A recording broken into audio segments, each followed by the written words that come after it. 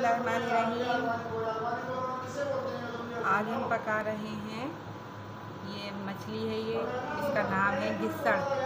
ये तीन किलो मछली ले लिए मैंने। ये हम मसाले वाली पकाएँगे। कोई दही वाली भी पकाता है तो मैं टमाटर वाली पकाऊँगी। तो ये तीन किलो मछली है। देखें, ये मैंने धो के साफ़ करके रख ली है देखें, ये तीन किलो मछली है ना तो ये इतना इसमें मसाला बनेगा इसका। ये देखें छः प्याज ले लिए मैंने, सात आठ टमाटर ये मैंने छील लिए छील के इसके छील लिए ये मैंने। तो ये ये मैं पीस लूँगी जैसे। अभी। और ये देखिए साबुत मिर्ची है लाल। ये भी मैं पीस लूँगी इसको। जो ना चाहता है वो तेल डाल ले हल्द जायका। और ये ज़ीरा और ये साबुत धनिया है ये। मैंने इसको, ये मैंने इसको भून लिया है इसके ऊपर तवे पे भून लिया है मैंने इसको इसको भी मैं इसको पीस लूँगी। इसको भी ये मैं पीस लूँगी। ये भी मैं पीस लूँगी इसको। ये देखिए साबुत धनिया है ज़ीरा ये मैंने ना, इसको भून लिया है, अभी इसको भी मैं पीस लूँगी। और ये लहसुन अदरक ये देखें, ये अदरक का टुकड़ा है एक। और ये एक पूरी लहसुन की जो गिठान होती है ना, वो है ये। ये देखें ये। गरम मसाला है ये। देखिए, ये पिसी हुई हल्दी है ये, और ये साब ये गरम मसाला है ये पिसा हुआ, और ये नमक है हल्दी जायका ये भी हम इसमें डालेंगे। ये ये मेथी है, ये मैंने घर में सुखाई है, ये बाज़ार की नहीं है ये, घर में सुखाई है ये मैंने। जब मसाला भुन जाएगा ये तो मसाला भुनते में हम इसको डालेंगे। अब मसाले पीस लेते हैं, फिर आपको दिखाते हैं। बिस्मिल्लाहिर्रहमानिर्रहीम, ये देखिए हम सरसों का तेल डाल रहे हैं इसमें। ये देखिए। डालेंगे ये? ये सरसों के तेल का, ये देखें ज़्यादा मेरे चैनल को सब्सक्राइब करें। मेरे फोर्थ चैनल को ज़्यादा से ज़्यादा सब्सक्राइब करें शेयर करें और बेल आइकन को प्रेस कर दें। और ये देखें ते, ये तेल गरम हो रहा हो, होने वाला ही है।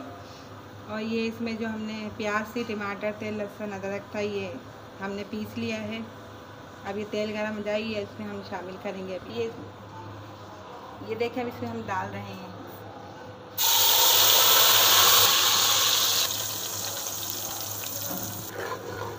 ये देखें ये भुन रहा है अब इसमें और चीज़ें हम शामिल कर रहे हैं।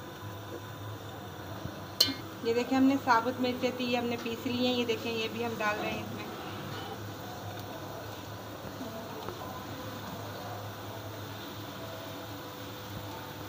और ये जो हमने ज़ीरा और साबुत धनिया भूना था, इसको हमने पीस लिया, ये भी हम मिलाएँगे इसमें।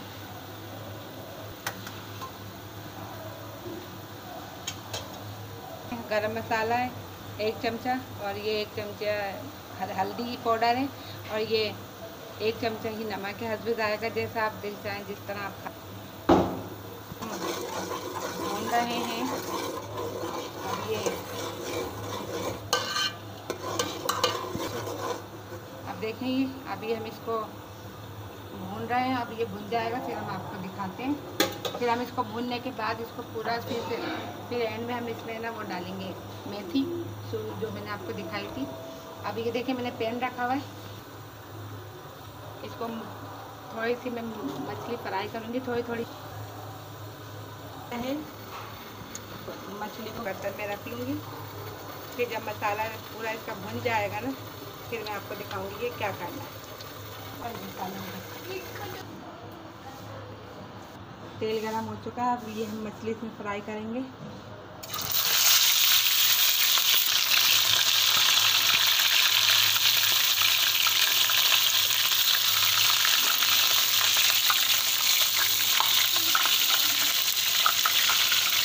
ये देखो ये हमने ज़्यादा फ्राई नहीं करनी क्योंकि फिर ये बाद में फिर इतनी गल जाएगी कि फिर अच्छी नहीं लगेगी। तो इसे हल्की हल्की फ्राई करेंगी तो ये मसाले के साथ डलेगी। कर लेते फिर आपको दिखाते हैं।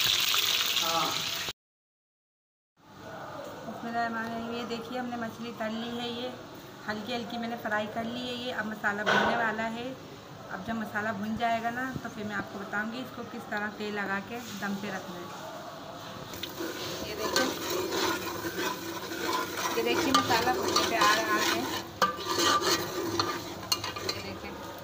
ये देखें ये जो मेथी थी मैंने घर में सुखाई थी, अब ये मैंने धो लिए ये धो के मैं इसमें डाल रही हूँ।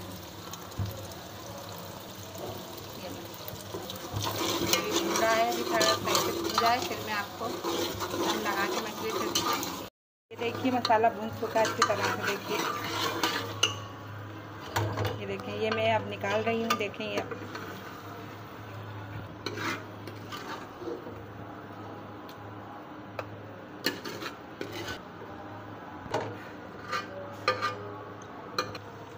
ये देखिए, मैंने मसाला निकाल दिया है इसमें। अब मैं इसके अंदर तेल लगाऊँगी मछली की, देखिएगा।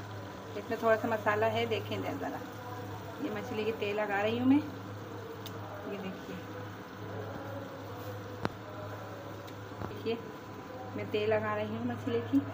मछली के तेल लगाने के बाद चमचा मत चलाइएगा इसको, ऐसे ही कपड़े से पकड़ के इसको ऐसे ही, भगोने को ऐसे हिलाइएगा ताकि मछली ना टूट जाए।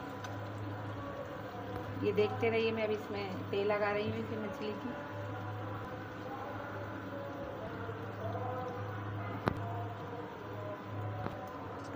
पकड़, हाथ से पकड़ना। ये देखिए मसाला मैं डाल रही हूँ इसके ऊपर से।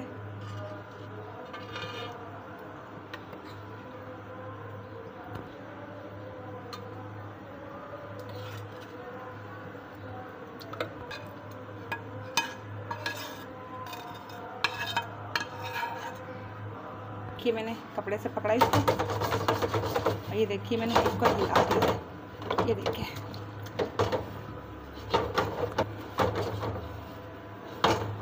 ये देखिए, मैंने इसको हिला दिया है। अब इसको मैं दम पे रख रही हूँ। ये पंद्रह मिनट बाद आपसे मिलते हैं, फिर दिखाते हैं कैसी पकी है। ये देखिए, हमने मछली तैयार कर ली है। देखें आप, कितनी प्यारी लग रही है। खाएँ और मज़े करें।